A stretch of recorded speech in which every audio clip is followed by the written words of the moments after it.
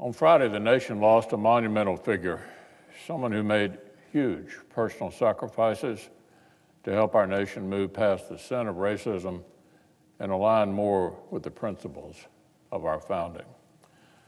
John Lewis had secured his place among the giants of American history before his career in Congress had even begun. From a sharecropper's farm with no electricity or running water, John Lewis rose to share the stage with Dr. Martin Luther King Jr. as a founding leader of the mid century civil rights movement.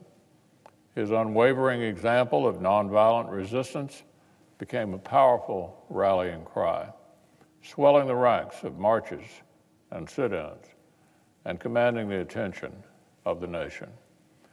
As a young student, John demonstrated wisdom beyond his years and unimaginable patience and dignity in the face of harassment and brutal assaults from the champions of segregation.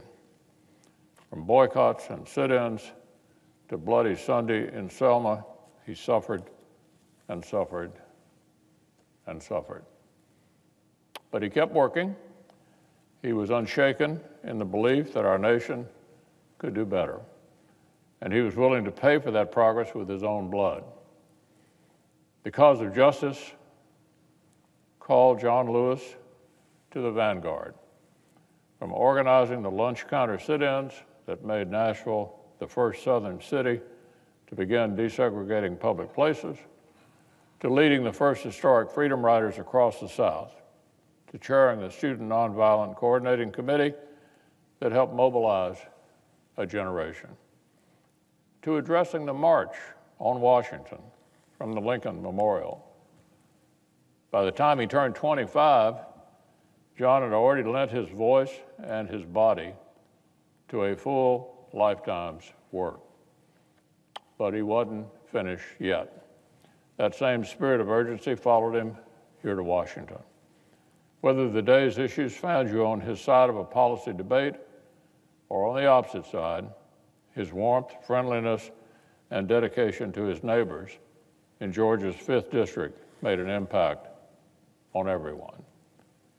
I'm reminded particularly of joining hands with him at a ceremony here in the Capitol honoring his friend Dr. King in 2008 as members of Congress sang, We Shall Overcome. It was humbling to reflect on what the man standing next to me had suffered and sacrificed so that those words could be sung at such an occasion in that place. So, Mr. President, the memory of our colleague brings to mind Dr. King's own words.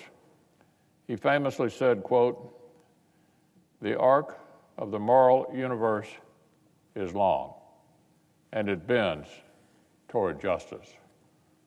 It would be a mistake to read those words and assume that he meant this bending is inevitable.